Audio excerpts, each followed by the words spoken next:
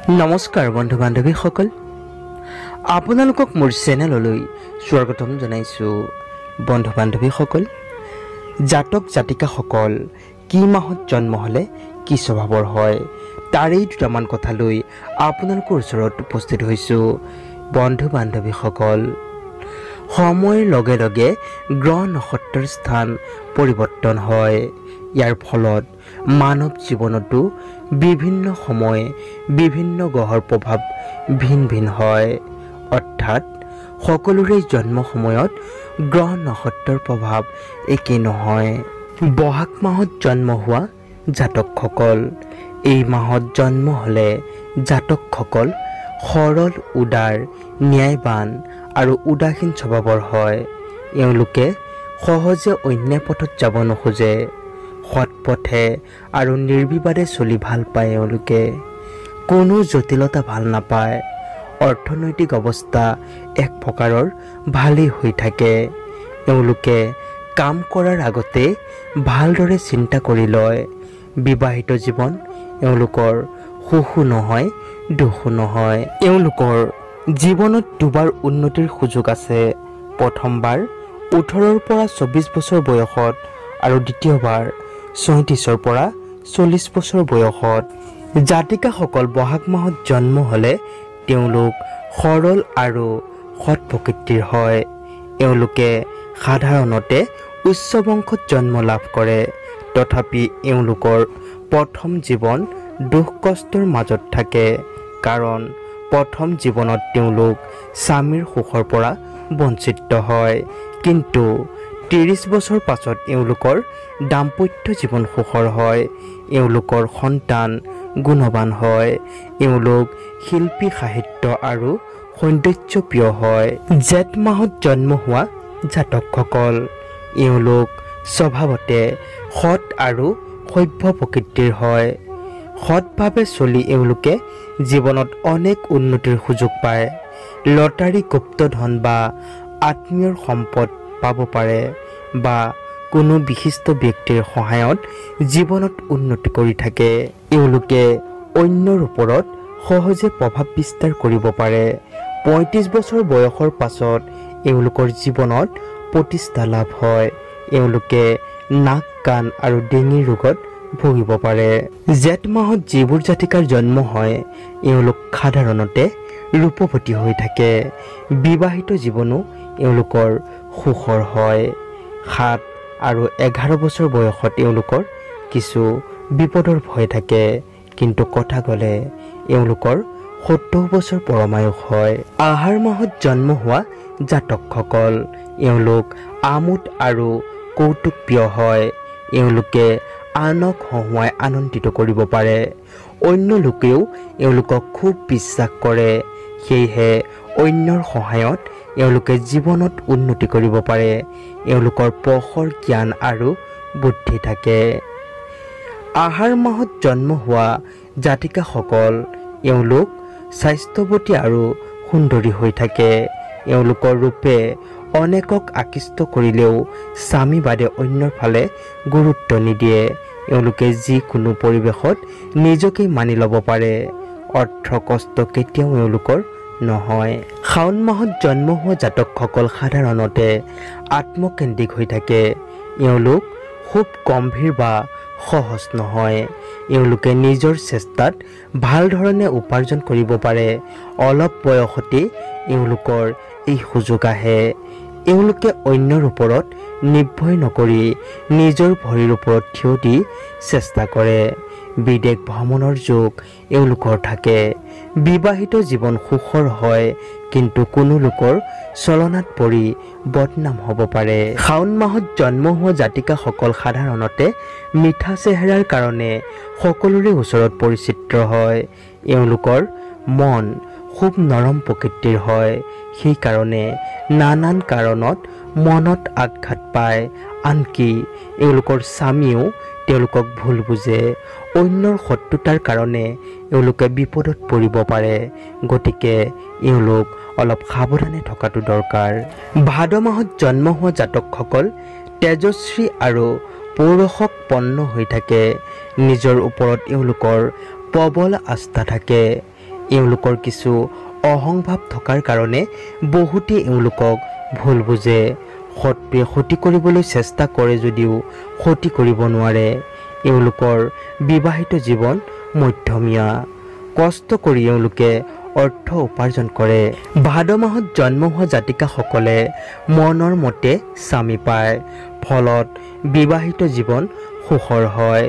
কেতিয়াবা কেতিয়াবা এওঁলোকে প্ৰেম কৰি বিবাহ হয় আৰু স্বামীক নিজৰ আয়ত্ব ৰাখে। তাৰ ফলত শহুৰ শাহুৰ মাজত এওঁলোকৰ অপ্ৰিয় হয়।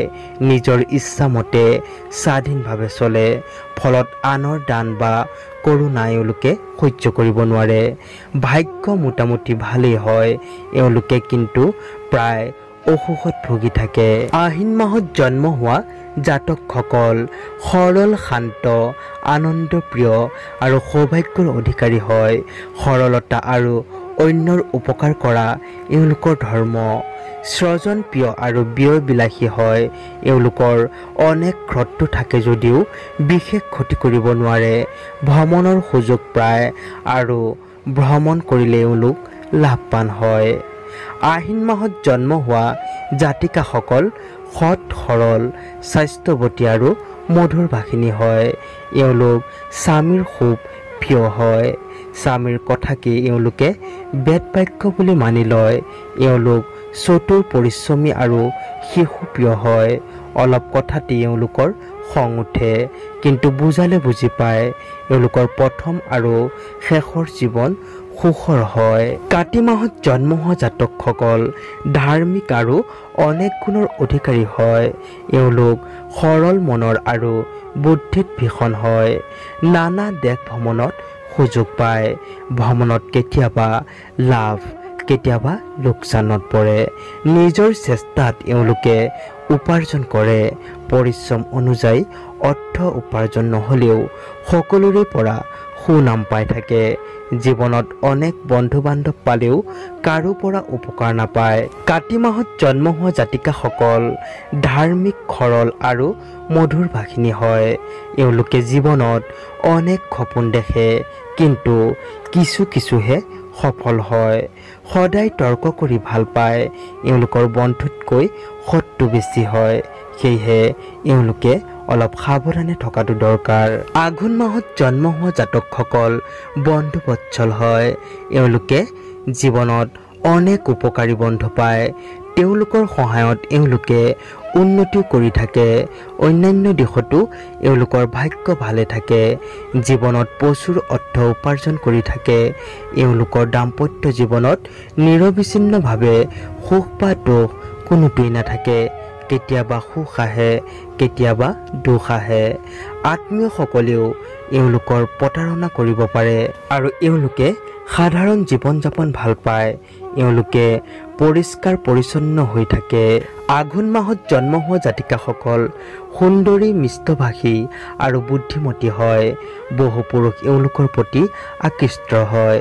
ফলত যেতিয়াই তেতিয়াই বিপদ হ'ব পাৰে। এওঁলোকে জীৱনত প্ৰচুৰ ঐশ্বৰ্যৰ অধিকাৰী হ'ব পাৰে। এওঁলোকৰ এটি সন্তান বিখ্যাত হ'ব পাৰে। এওঁলোকৰ কথামতেই স্বামী চলি থাকে আৰু তাতেই এওঁলোকৰ লাভৱান হয়। পুহ মাহত জন্ম হোৱা জাতকসকল সাধাৰণতে চিন্তাশীল আৰু বিদ্বান হয়।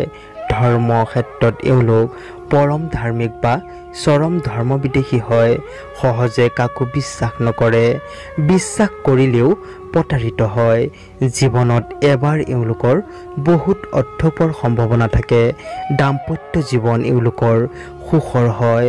বিবাহৰ পাছত অনেক উন্নতি হয়। এওঁলোক দয়ালু আৰু মিষ্টভাষী হয়। সেয়েহে অনেকৰ প্ৰিয় পাত্ৰ হয়। অৱশ্যে হঠাতে অন্যৰ লগত এওঁলোকৰ ভুল বুজাবুজি হৈ পৰিব পাৰে। পুহ মাহত জন্ম হোৱা জাতিকাসকল এওঁলোক মোটামুটি সুন্দৰ হৈ থাকে আৰু সৌন্দৰ্যৰ কাৰণে এওঁলোকৰ মাজত অহংকাৰী ভাৱ এটি সোমাই থাকে। এওঁলোকৰ মুখ সাধাৰণতে গোল থাকে। এওঁলোকৰ বহুত খং উঠে। আনৰ কথা শুনি এওঁলোকে স্বামীৰ ওপৰত খং কৰে। এওঁলোকে অন্য নাৰীক ভাল চকুৰে দেখিব নোৱাৰে। ফলত শত্ৰুৰ সৃষ্টি হয়। এওঁলোকে সন্তানৰ পৰা অনেক সুখ পায়। মাঘ মাহত জন্ম হোৱা জাতকসকলৰ মাজত দয়া মায়া সততা গুণ দেখা পোৱা যায়। এওঁলোকৰ ফল ভাল হয়। ব্যৱসায় বা চাকৰি উভয়তে এওঁলোকৰ উন্নতি হয়। ডাক্তৰী বিদ্যাত দ্ৰুত উন্নতি হয়। এওঁলোকৰ বন্ধু বাক্য ভাল হয়। পিতা বা আত্মীয়ৰ সাহায্য পালে জীৱন সুখৰ হয়। ভ্ৰমণ যোগে এওঁলোকৰ লাভ আৰু উন্নতি হয়। মাঘ মাহত জন্ম হোৱা জাতিকাসকলে এওঁলোকে আনন্দ ঐশ্বৰ্য ভাল পায়। এওঁলোকে অনেক সপোন দেখে কিন্তু বেছিভাগেই পূৰণ নহয়। এওঁলোকে পৰিয়ালৰ ওপৰত অধিকাৰ লাভ কৰে। এওঁলোকে প্ৰায় পেটৰ ৰোগত ভুগি থাকে। এওঁলোকৰ অনেক সন্তান হ'লেও দুই এটাৰ দ্বাৰাহে সুখী হয়। ফাগুন মাহত জন্ম হোৱা জাতকসকল সঞ্চীয় বুদ্ধিমান চিন্তাশীল আৰু ধীৰস্থিৰ স্বভাৱৰ হয়। এওঁলোকে কম কথা কয় কিন্তু চিন্তা বেছি কৰে ফলত কামত সফল হয়। এওঁলোক সফল ব্যৱসায়ী হৈ থাকে। মিতব্য হোৱাৰ ফলত প্ৰচুৰ সঞ্চয় কৰে। অলপ বয়সৰ পৰাই এওঁলোকে উপাৰ্জন আৰম্ভ কৰে আৰু শেষ বয়সত প্ৰচুৰ অৰ্থৰ অধিকাৰী হয়। পিতা মাতাৰ প্ৰতি এওঁলোকৰ শ্ৰদ্ধা ভক্তি থাকে। এওঁলোকৰ একাধিক বিবাহৰ সম্ভাৱনা থাকে। প্ৰথম জীৱনত এওঁলোকে ৰোগত ভুগিলেও পাছৰ জীৱনত স্বাস্থ্য ভালে থাকে। ফাগুন মাহত জন্ম হোৱা জাতিকাসকল প্ৰচুৰ সুখ আৰু ঐশ্বৰ্যৰ অধিকাৰী হয় ফলত অনেক সম্পদ হয়। সাধাৰণতে স্বাস্থ্যৱতী আৰু স্বভাৱত খঙাল হয়। খঙৰ কাৰণে অনেকে এওঁলোকৰ শত্ৰু হ'ব পাৰে। এওঁলোক খুব প্ৰতিপৰায়ণা হয় ফলত পতিৰ বাহিৰে অন্য পুৰুষক এওঁলোকে সহ্য কৰিব নোৱাৰে। চ'ত মাহত জন্ম হোৱা জাতকসকল সাধাৰণতে ধাৰ্মিক আৰু সাত্বিক প্ৰকৃতিৰ হয়। ধৰ্মপথত এওঁলোকৰ খুব উন্নতি হয় এওঁলোকৰ ব্যৱহাৰ খুব সুন্দৰ হয় আৰু ভাষাও খুব মিঠা হয়। প্ৰথম জীৱনত অৰ্থ কষ্টত চলিলেও পৰৱৰ্তী জীৱনত অৰ্থাৎ চল্লিছ বছৰ পাছত অনেক উন্নতি হয়। চাকৰি সলনি ব্যৱসায় কৰিলেও বেছি উন্নতি হয়। এওঁলোকৰ সংসাৰৰ প্ৰতি আসক্তি কম হয়। মনৰ মতেষ্টি পালে দাম্পত্য জীৱন সুখৰ হয়। সন্তানৰ ফালৰ পৰাও এওঁলোকে সুখ শান্তি পায়। চ'ত মাহত জন্ম হোৱা জাতিকাসকল সাধাৰণতে হাঁহি ধেমালি ভালপোৱা স্বভাৱৰ হয় ধাৰ্মিক হয় অন্যায় একেবাৰে সহ্য নকৰে। এইকাৰণে আত্মীয় স্বজন সৎ নহ'লে এওঁলোকক লগত ৰাখিব নিবিচাৰে। সেইকাৰণে অনেকে এওঁলোকক ভুল বুজে। স্বামীক লৈ এওঁলোকে অনেক সপোন দেখে।